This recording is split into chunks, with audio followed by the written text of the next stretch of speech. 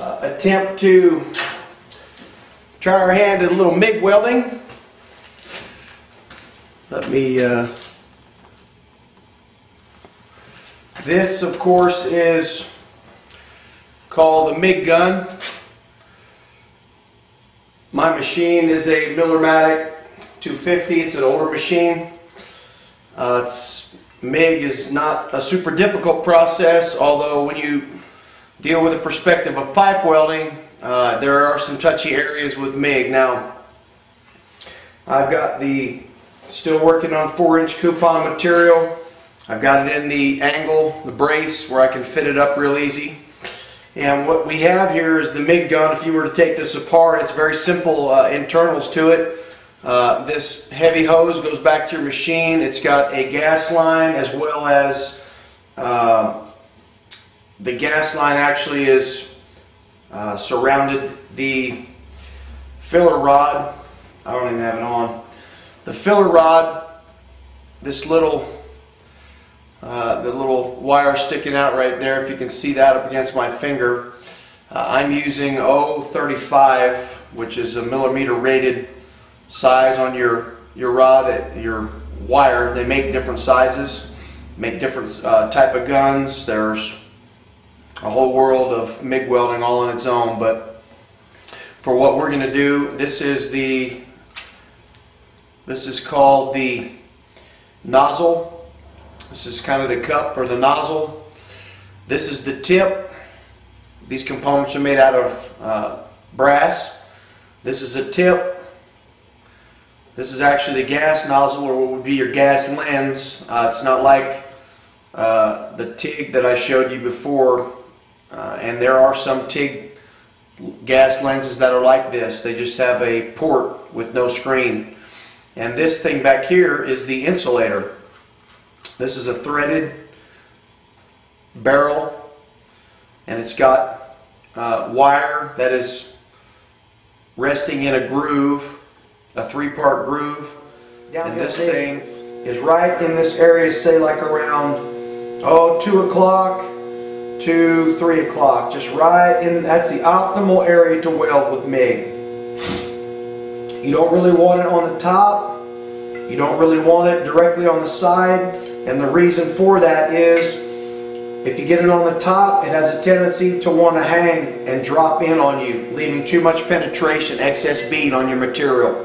You don't want it on the side because by the time you deposit your metal, it wants to sag on you, therefore choking out what you're trying to put in. A lot of times you won't get good penetration. So the optimal spot is really say 2 o'clock to 3 o'clock, right in there.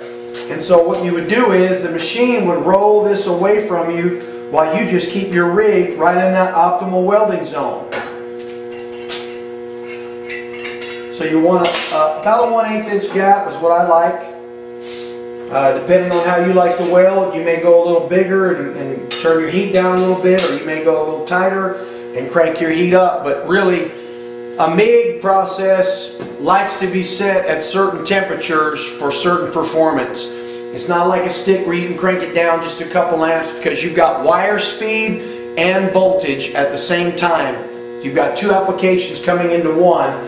And from what I found with welding on MIG is, is that the machine for optimal welding and there's a certain sound you can tell that it's running good. It looks a certain way uh, the machine likes to be set at certain parameters and if you ever buy a machine or you can get a pamphlet or go online, I don't have this in my course, but you can go online or call a manufacturer and say, hey, what's the optimal setting for uh, 035 previously deposited, deposited, you have to thin out your weld so you can get a tie-in. Now I can look through the interior of my piece because it's a short piece, but if you had a big old long section of pipe or something where you couldn't really look through there uh, and you can't weld it from the inside naturally, especially if it's a test piece, you have to rely on this window in here to look through and see what kind of root you're putting in.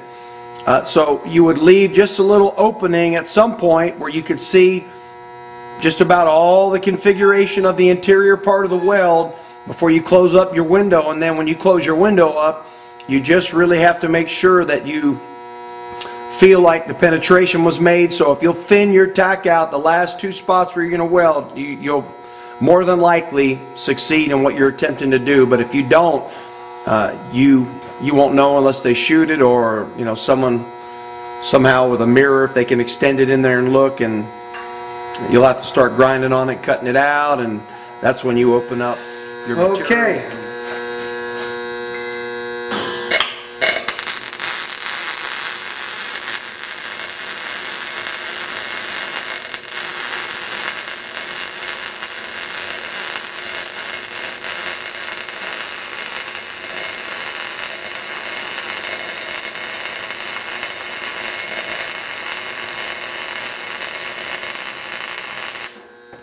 Now as I come down, I really don't know if you can see it or not, but as I come down,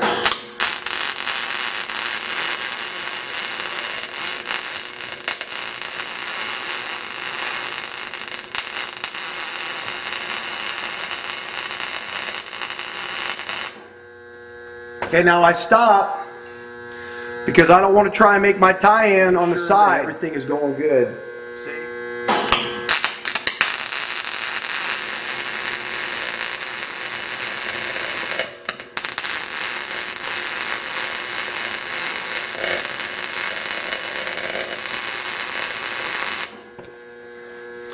Now I'm kind of concerned about that area just off my tack.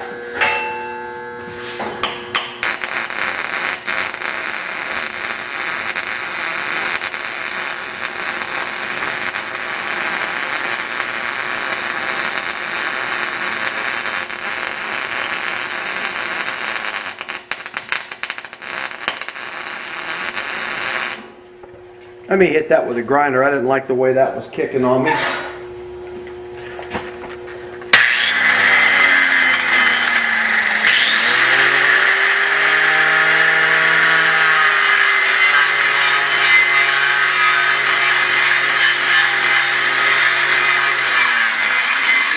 And make some soapstone marks so I know where the film is and we'll just go from there. Here we go.